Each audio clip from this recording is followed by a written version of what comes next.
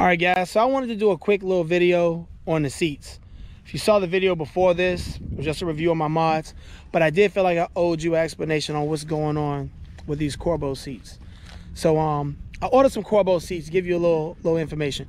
I bought some Corbeau seats for my for my C5 Corvette. I bought the A4s. It's roughly around $1,300 to get these seats to your house. Um, mm, you about eight or nine hundred dollars, something like that, uh, for the actual seat. Then you have to get the rails, which costs about maybe $160 per rail. So by the time you do the shipping and get everything to your house, uh, you're in the neighborhood of somewhere around your $1,300 with your shipping and all that type of stuff. So here we go. We're gonna jump right into this. I'm gonna give you some real, real, real information. Sometimes some information that you get online is information, but it's not detailed information. So stick with me for about five or six minutes. I'm gonna let you know some things about these Corbeau seats. Some good, some bad. But if you're interested in buying Corbeau, if you're interested in buying the A4s, I'm gonna let you know some things about them that maybe you ain't really hearing online. So here we go. Let's jump into it. So these are the Corbeau A4s. Beautiful seat. I've seen them on a lot of Corvettes.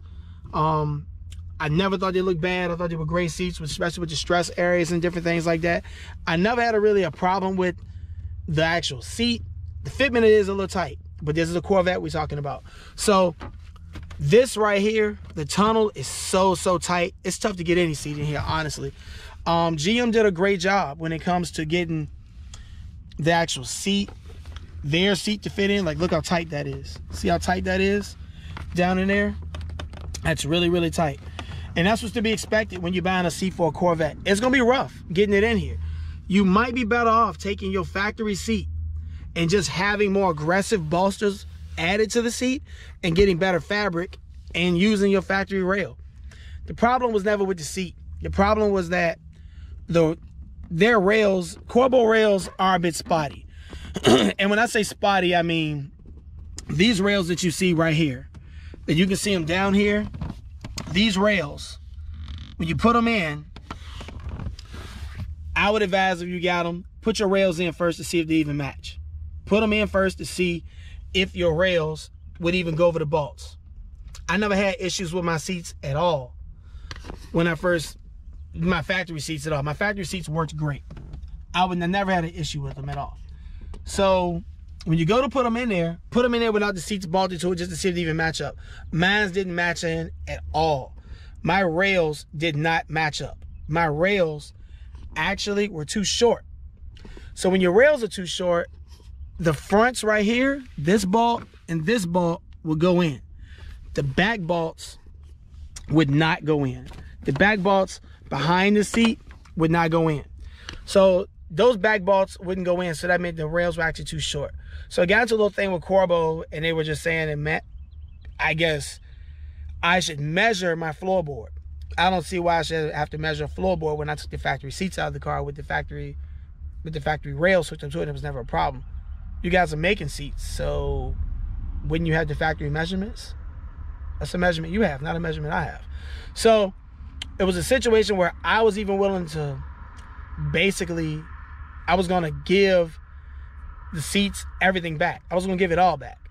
But I wanted to keep the seats. I just wanted them to swap the rails out. They wanted me to do more measurements. I sent them pictures, emails, and I refused to measure because these are measurements that you guys should have. Just swap them out, we'd be cool.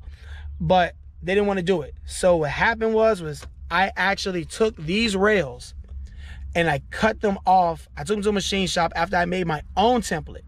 I made my own template of the rails. I made my own templates, my own spots where they bolt in at, and I traced around these rails that are in the car, and pretty much I made my own rail design with my own measurements, the correct measurements, and the driver's side seat, they were the right length but the holes didn't. the holes weren't punched out to the right size.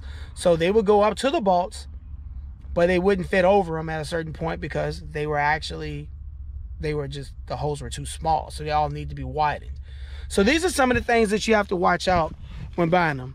I did a I looked at countless videos of these. I even looked at a guy named Garage Topics, which is the most which I think is the best one for you to look at. His name is Garage Topics. He works for like for Holley.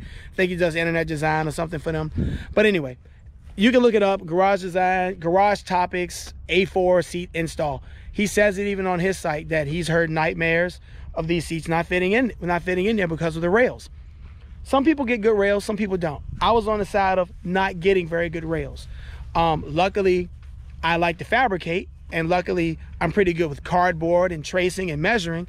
So I was able to make these seats fit inside the car, still using the rails that Corbeau provided me, which were they were a couple of inches off, and the holes were definitely too small. So Corbeau, I just kind of stopped dealing with them. I kind of stopped talking to them on the phone and calling them and calling Utah and all this other kind of stuff, talking to them on the phone about making something right that obviously was wrong. Um, you know, other than that, the seat is fine. It holds you in place. They're great. They they are great as far as into that regard. They're great. But as far as the seat, I'm telling you, as far as those rails, beware. Beware when you buy it. Beware when you buy these that the rails may not fit. They fit in here great now. They fit in here great.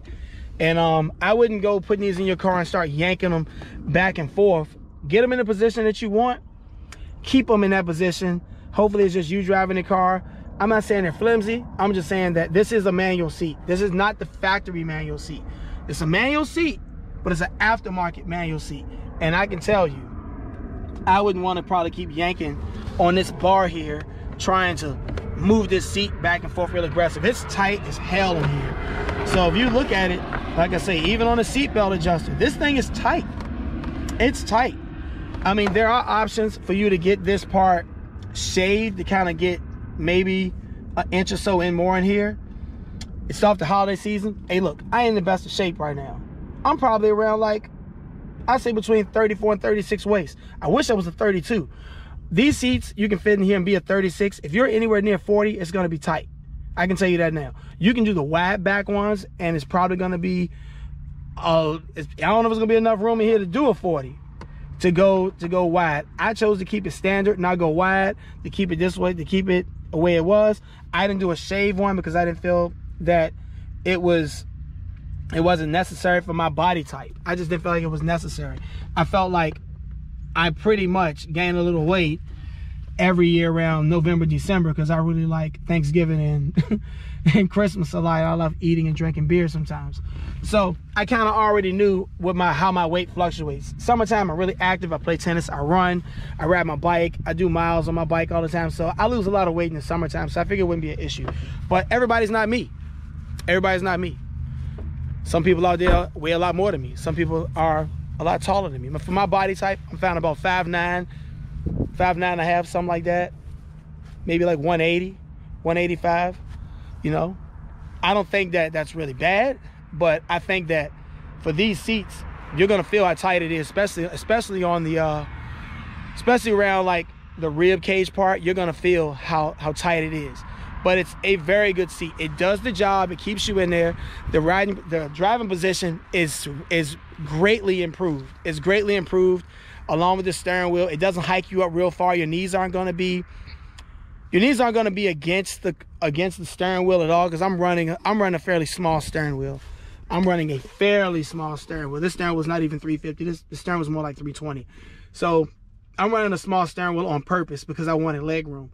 Um, but other than that, they are they are really good. They fit in here really well. Do the factory seats fit better? Absolutely. Fit way better.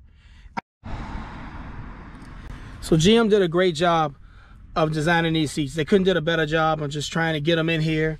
And um the total design is has been fine and getting them the seats. I'm overall I'm fairly fairly satisfied with what we had going with Corbeau. Um I just wish the customer service was just a little bit better. That's, that's all it came down to be. It's just the customer service. I wish it was a little bit better than what it was, and I wouldn't have to keep going through the things that I went through with them. Um, initially, I got it fixed on my own, and just for you to know, I spent like another hundred dollars just to get these things to fit. And um, you know, it is what it is. A hundred dollars doesn't break the situation, but I just wish I could have worked it out with them. But I did want to give you guys just the overall opinion of what I thought about the seats because sometimes you see these videos that chop, that cut, that edited. You don't really know what goes on into a lot of YouTube installations. Sometimes you just don't know because they chop the video up the way they want to chop it up.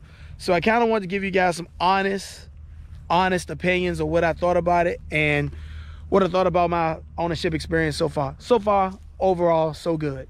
But I did go through a little something to get them in, in the car. So again, thank you for watching the video. Thank you for um, constant supporting the channel. It's not very many subscribers that I do have, but the ones that do subscribe, thank you. And if I see your cars and coffee and stuff out in Richmond, or I see you online or something in the comments, uh, whether you're near or far, I appreciate you. Whether it's 13 of y'all or 3,300 of y'all, it don't make a difference. I still really appreciate it. I'm not a professional YouTuber. I barely even know how to work this GoPro. But um, thank you for just overall following a little journey on the cars that I have had and um, going over this little Corvette situation. So thank you, really appreciate it. Again, follow follow me on uh, on Instagram, mg underscore street candy K with an I or K A N D I. Same thing as what this channel is, and you'll see me posting up a lot of things in progress of the vet and as far as how far along I choose to go with this thing. So thank you, appreciate it. Take care. Bye bye.